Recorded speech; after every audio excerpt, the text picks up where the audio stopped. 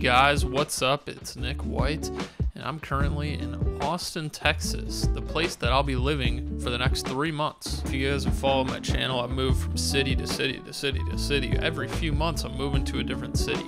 But Austin, I actually like so much so far that I'm planning on staying here potentially. So yeah, I'm waiting for my whole setup to arrive, desk and chair. It's not coming till tomorrow, but I figured in the meantime, I'd make a video talking about ways you can avoid wasting time when learning to code. And this happens to a lot of developers, including myself. When you first start learning to code, you don't really understand how you should approach learning new things. It's kind of something that you learn over time. It's actually a skill to learn in itself. And uh, I just want to give you guys some tips so you can kind of avoid making some of the mistakes that I used to make. But before we get into the rest of the video, I need to mention a long-term partner of the channel, Pluralsight, is hosting a big event tomorrow. It's an annual event they host. It's called Tech Skills Day. Tech Skills Day is an annual event that Pluralsight hosts where they have keynote speakers and experts talking about tech skills, and they just want to bring the global tech community together in the spirit of learning. And at the end, they're even going to host a virtual after party where you guys can connect and communicate with other developers. So if you want to save it, go into the description of this video, click the link, or just put it in your calendar.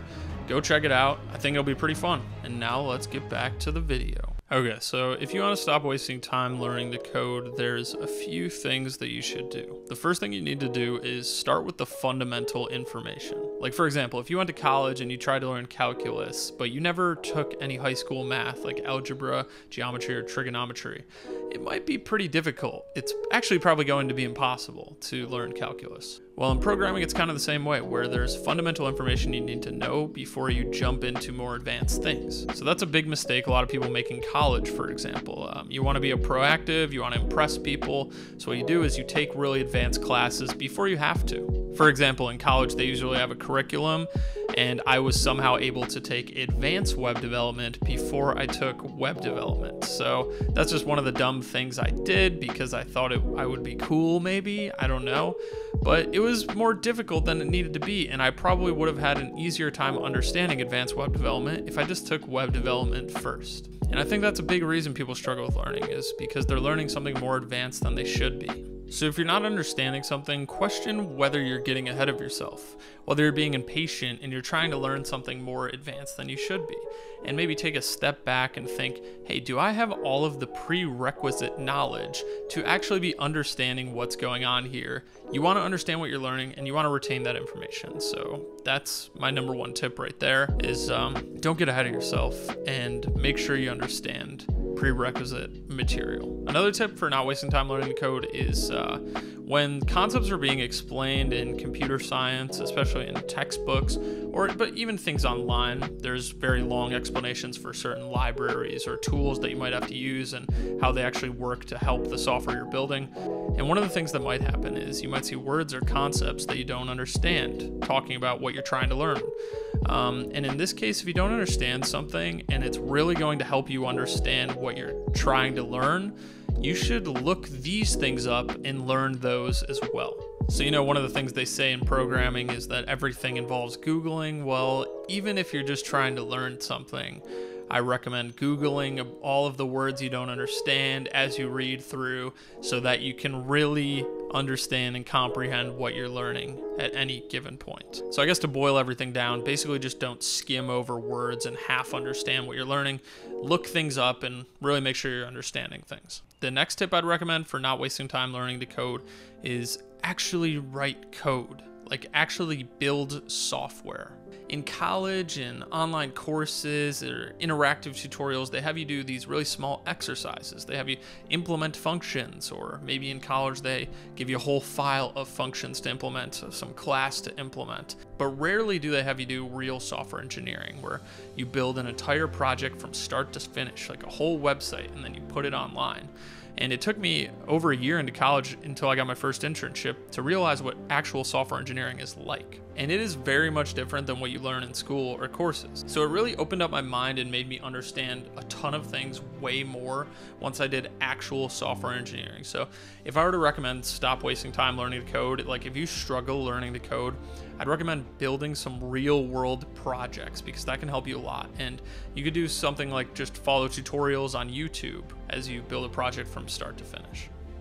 Another tip to stop wasting time on learning the code is make sure, you're using a reputable resource. So, you know, don't find something off the 17th page of Google and use that as your main resource for learning the code. You want to use reputable, you know, things that everybody uses to learn to code, right? These things are probably good resources.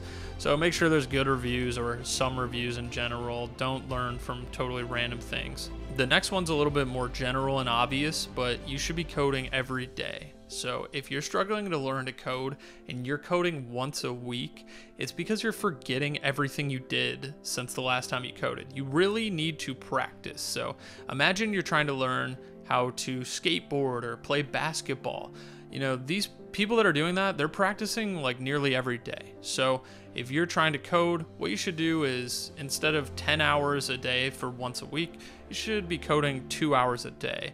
That way it's fresh in your mind every single day and you remember what you did the previous day because in coding you can forget things pretty quickly. There's a lot of information that you have to cover. Another tip is learn one thing at a time. I knew a bunch of people in college that tried to do a million things at once, including myself at one point. Um, but some people go crazy when you know, you try and do blockchain programming with distributed systems, with web development all at the same time, and you're working on a bunch of different projects on the same time. It's super excessive, and people probably just think you're crazy. So, you know, it might seem cool to take on a million things at once at the time, but it is super counterproductive in the long term what you need to do is focus on one thing and get good at it because that's what's going to lead to success whether it's starting a company or getting a job figure out one thing that you like doing in programming, get really good at it.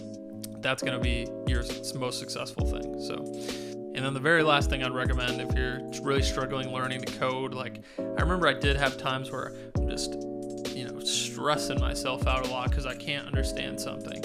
So, in those cases, uh, if you're sitting at your computer for 30 minutes to an hour and you're making no progress, close your computer, do something else, get up, walk away, go for a run, eat some food, watch a movie, do something, do something else because your mind is not in the right state to be accomplishing anything. If you if you're just going for an hour straight not accomplishing, the second hour you're not just going to magically figure it out. So relax yourself. There's no reason to stress yourself out, which I used to do all the time. I figured push yourself, push yourself, and you'll eventually get there. But uh, at some points, there's no need to do that. You don't need to push yourself all the time. You need to relax. Actually, relaxing can help you uh, refresh your mind, get and get into a new, fresh mind state, and then you might come back to the problem uh, or what you're trying to learn and understand it immediately. So that's like one of the major things I'd recommend too. So that's mainly all my tips. You know, if you guys are struggling, it's only natural. I struggled a lot when I was first learning and it's kind of just something that you have to get used to and learn over time the best way for you to learn new things. So um, that's pretty much for this video. I'm in austin texas guys. Uh, a couple of you guys messaged me on linkedin or discord and i i was down to hang out. I got co- coffee with some people. I only know a few people here. I have a few friends so far. So if you live in austin texas feel free to message me. We can get some coffee. But uh, thank you guys for watching. Please like the video. I appreciate the support as always. And uh, check out the Pluralsight, Tech Skills Day tomorrow, linked in the description, 1 p.m., April 21st. Really going to be fun. See you guys there. Peace.